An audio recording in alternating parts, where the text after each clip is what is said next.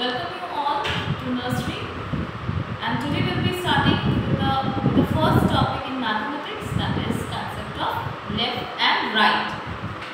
So we'll start with the book. You all have you are all got this book, Tinker book. So we'll start with Tinker book 1. Okay.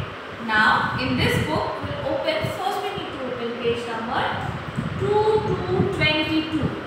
First we'll open page number 2 to 22. Here in this page as you all can see various pictures are being provided to make you understand about the concept of left and right.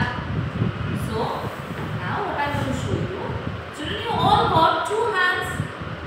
One, two, you all have two hands and one by one you will get to know which is left hand and which is right hand. Okay. This is my left hand. This is my left hand. Okay. And this one other one is the right hand. So I got two hands. Left hand and right hand. Left hand and right hand. Okay. Now parents you are requested to ask the children some basic questions like you can take two fruits or two vegetables anything that you have at home. For example here I have an apple, red color apple. Another I have a orange. Apple, orange. Now I can take one one object in each one hand and I can ask my children. Like you can ask your child that, child tell me which is the apple. In which hand do I have the red color apple?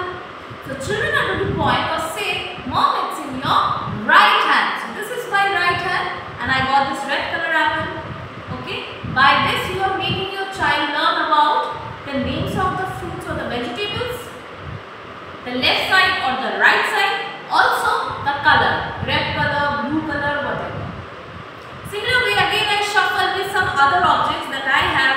I am taking two balls in my hand. One is green, green color ball, another is blue color ball. Again now I can shuffle and I can ask, child can you tell me in which hand do I have the blue color ball?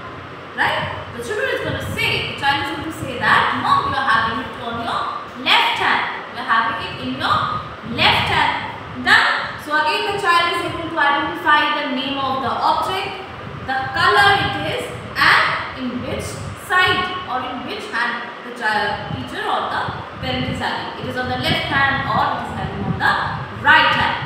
You can use many other objects, any object that you have at home, you use it to make them understand the concept of left and right. Left and right. Okay? So, till now, thank you so much. Thank you for being. Thank you so much for